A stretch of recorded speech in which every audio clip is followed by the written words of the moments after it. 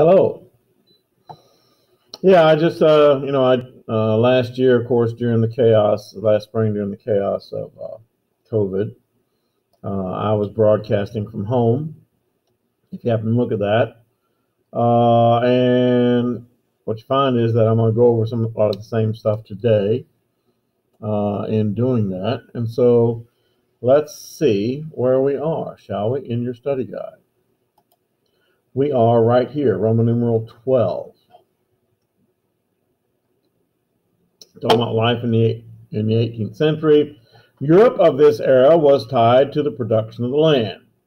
The main goal of the peasantry was the constant supply of food to the populace.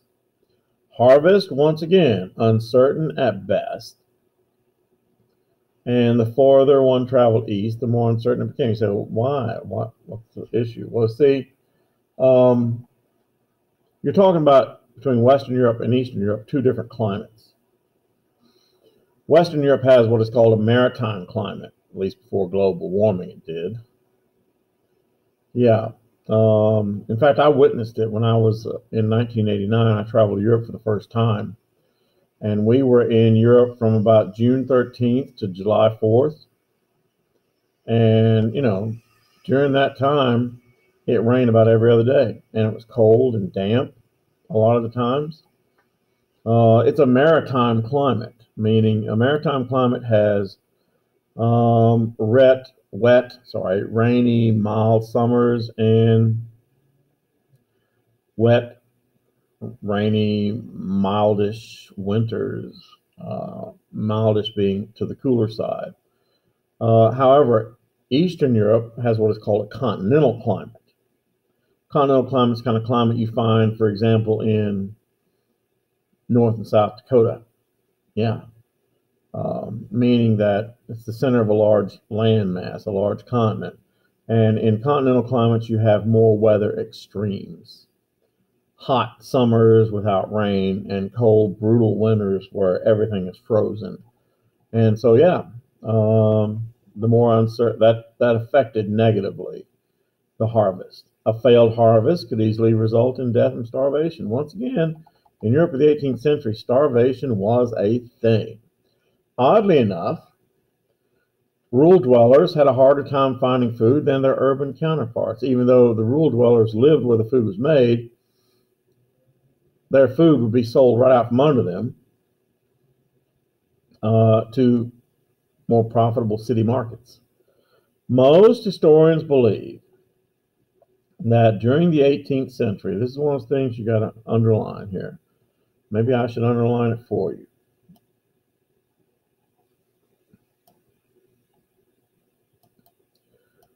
Most historians believe that during the 18th century, bread prices slowly but steadily rose, putting pressure on the poor and peasant population because, once again, bread was the staple crop.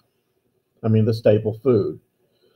Rising grain prices caused the landowners of Western Europe to exact changes in farm production that became known as the agricultural revolution. Say, what does that mean? Well, Western landowners saw the uh, possibility of making more money because of rising grain prices. But the only way they could do that would be to change the methods of tilling the soil aka bumping the little farmer off. Not killing them, although sometimes that did happen, but simply driving them off their land. And this will be called the agricultural revolution. The agricultural revolution, look, I defined it for you. Changes in production and methods, which often cause revolts. Part of that, once again, was because they drove the little farmer, the small farmer, off their lands. That in England, they began the hedgerow system, which later caught on in France. You say, what are hedgerows? These hedgerows, in order to, to keep cattle in a certain area, didn't build fences. They built hedgerows and they would mound up the dirt, okay, and then plant these hedges on the t- at the top. And these hedges got to be where they were very, very thick uh, and impenetrable. Fact the matter was, in World War II, the hedgerows became a death trap for Allied soldiers pressing through uh, France. uh, because you know snipers, Germans could easily conceal themselves, could conceal uh, machine gun nests uh, in those hedgerows, and not only that, but American tanks, the M4, the so-called Sherman tanks, even had difficulty penetrating them. Uh, and so, yeah, they built these hedgerows to keep. In the old days, in the Middle Ages, people kept their cows, cattle, and sheep in kind of a central free range grazing area. Parts, or maybe all of which, was owned by the lord of the manor. So what the lord of the manor did was he he uh, sectioned them off. He put up barriers like the hedgerows that would prevent um, the poorer peasants from grazing their cattle uh, and feed, watering their cattle in various water holes and uh, and uh, grazing fields, and that caused revolts and rebellions. These rebellions were put down by governments who were anxious to increase farm revenues. But see what the English landowners were doing, they did it because it would be more efficient. They could, for example, they wanted to keep the peasants' cows out of their cow their cow herd because the peasant cows were little scrawny things and they didn't want them interbreeding with uh, their cattle that they had spent a lot of money trying to improve the breed, selective breeding, you know, which is one of the methods uh, that they used. Dutch farmers had devised better and better ways to drain lands and to build dikes and to put more land under the plow. English farmers came up with almost no ideas, but took the new ideas of the Dutch and expanded upon them. Jethro Tull, let's bungle in the jungle. And of course, no, nobody gets. What does that mean, bungle in the jungle, Miss Harden? It was a song that came out in the 70s by a guy named Jethro Tull. Um, ask your grandfather about it. So, Jethro Tull was an English farmer and researcher who utilized modern methods. Yeah. Uh, Charles Turnip Townshend utilized fertilizer fertilizer. Important. Fertilizer, crop rotation, and using wheat, turnip, barley, and clover. Um, use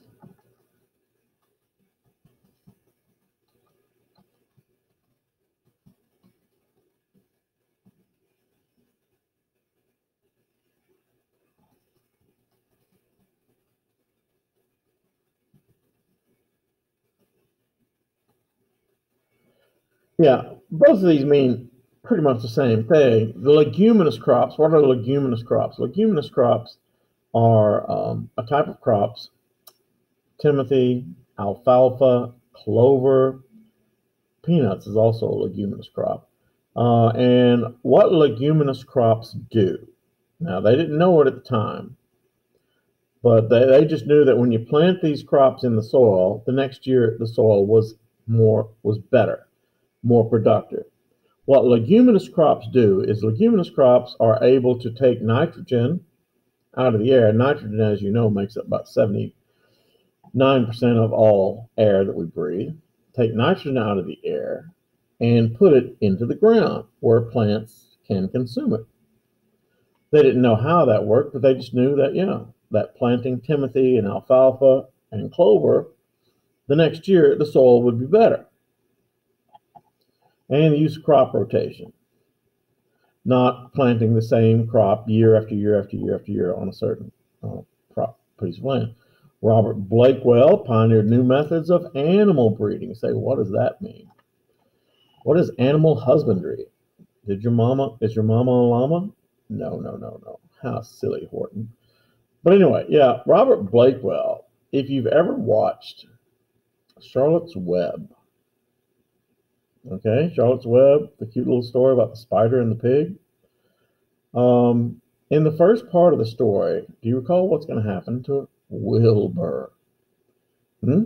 Wilbur's just a little baby. What's going to happen to him?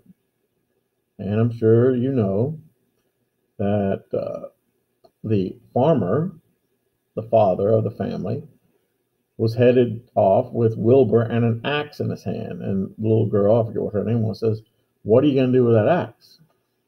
And it says, I'm going to kill Wilbur. Why? Because Wilbur was a runt. It was a, he was a small pig. And the farmer did not want Wilbur, the runt, interbreeding with his larger, more desirable pigs. I mean, you know, they the uh, the, the 18th century English farmer learned that by selective breeding, meaning breeding only your best, most desirable animals, you could breed desirable products, such as they learn how to breed horns out of cattle. You know, for the longest time, cows have horns. But more and more, they learn how to breed, to selectively breed cows that didn't have horns until you have entire species of cattle, like the Charolais, like the Shorthorn, uh, you know, that have no horns.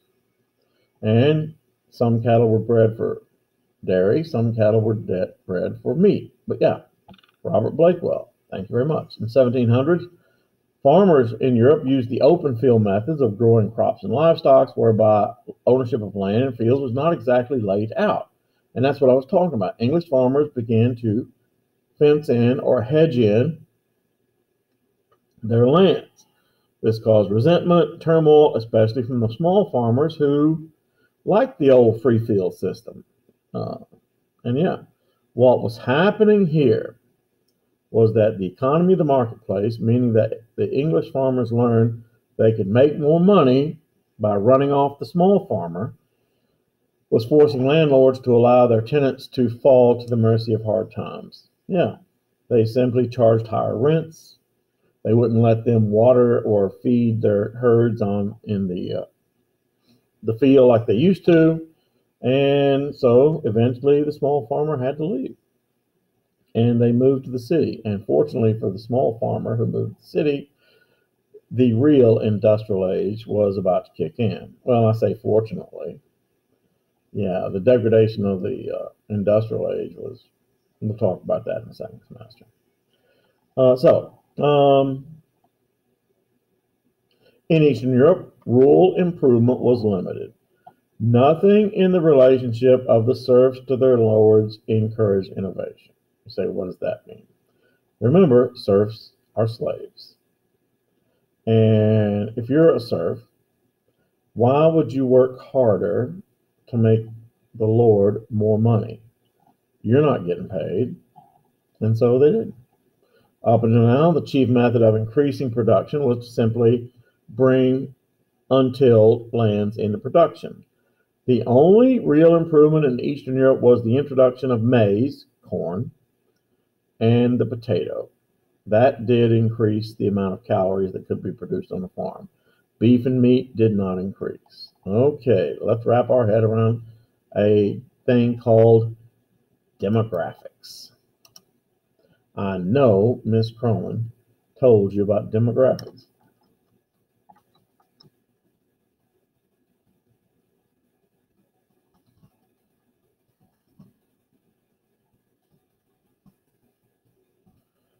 Demographics, very valuable field of study, the study of population trends. In other words, what large numbers of people. I hate those lights. Please. The study of what large numbers of people tend to do. If you can master demographics, you become one of the most valuable people in the business world because you can predict what large numbers of people will want. Beginning in the second quarter of the 18th century, the population of Europe, so that's from 18, I'm sorry, 1725 to 1750, the population of Europe began to grow steadily. Before, the growth had been erratic and it had been very slow, but from 1725 to 1750, the population began to grow steadily. oh, yes, forgive me, I left this out. This is an important statement. Yes. The population explosion of today had its beginnings in the 18th century. In 1700, and these are some stats. Do you have to remember them? No, but you have to remember the tendencies. And I would remember that thing about the second quarter of the 18th century. In 1700, there were between 100 and 120 million people living in Europe and the Ottoman Empire. By 1800, there were 190 million people, almost double. By 1850, 260 million.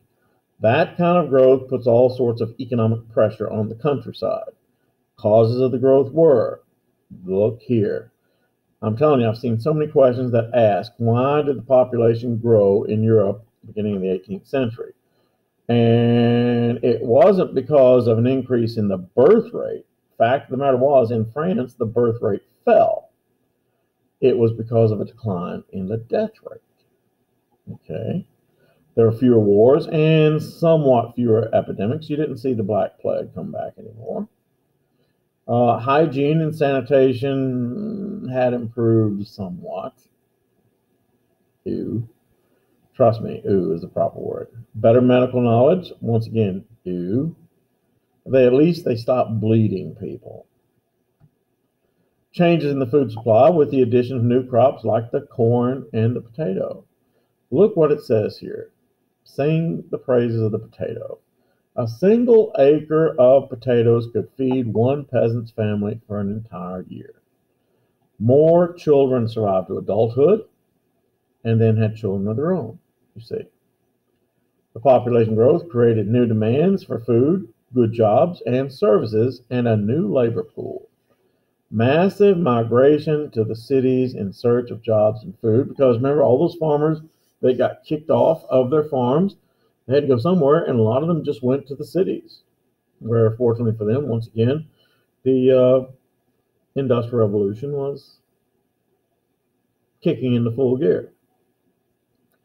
The society and the social practices of the old regime literally outgrew the traditional bounds. In other words, in an industrial economy, the old methods of the nobility and the clergy and the peasantry, it just it didn't fit anymore. You know, peasantry in, a, an industrial society just doesn't work. All right, Roman 14. The second half of the 18th century saw the Industrial Revolution, a period of sustained economic growth. The economy of Europe had managed to expand at an almost uninterrupted pace. At considerable social cost, the industrialization made possible the production of more goods and services than ever before in history. Now, at considerable social cost. We're going to talk about that more in the second semester. But when it says at considerable social cost, you're talking about in the Industrial Revolution, people jammed in together, very densely packed, very dense populations, uh, living together, living on top of each other, living in squalor, living literally in their own filth. And at great suffering. I mean, for example, let's talk about Cincinnati in Cincinnati of the 19th century, which is the Industrial Revolution. In the 19th century, the city of Cincinnati had a population density of 100,000 people per square mile. The city of Cincinnati doesn't have a population density of 100,000 people per square mile today. And yet back then it did. Why? Because, number one, consider this in the 19th century, the primary industry of Cincinnati was pigs, processing pork. I mean, Cincinnati was once called Porkopolis. You ever wonder where the flying pig gets its name? The marathon? Yeah. And so,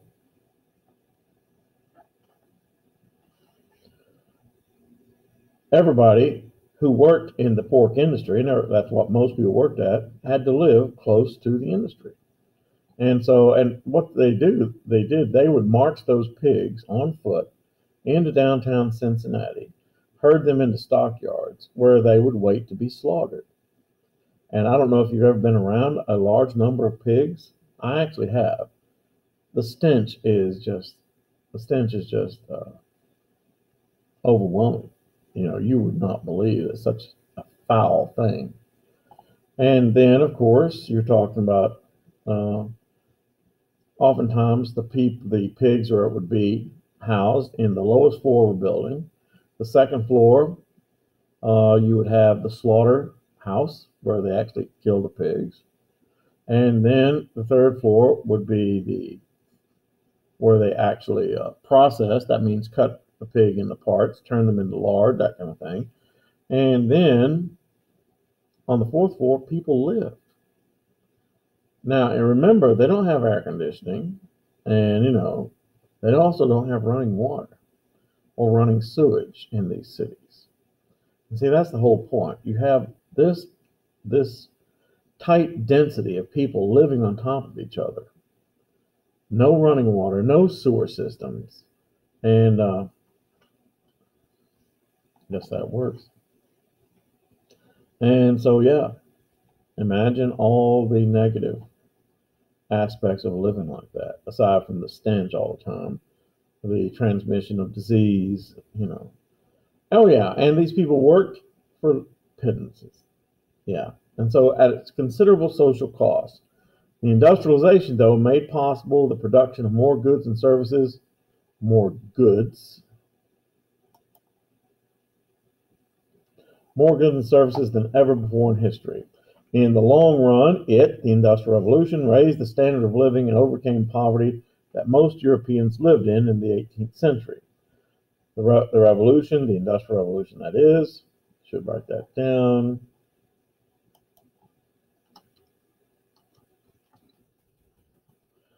Was caused by the demand for ordinary consumer goods like buttons, toys, china, furniture, silverware. I mean, things that people use, consumer goods and foodstuffs. People during this era had more disposable income with which to buy products.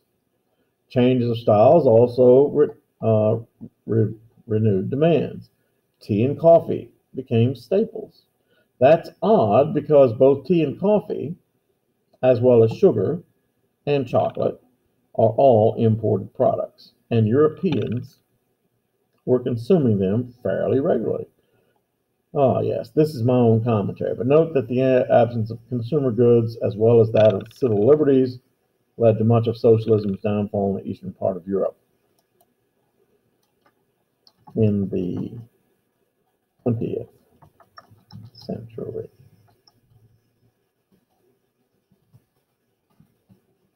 You know what? I'm going to end there.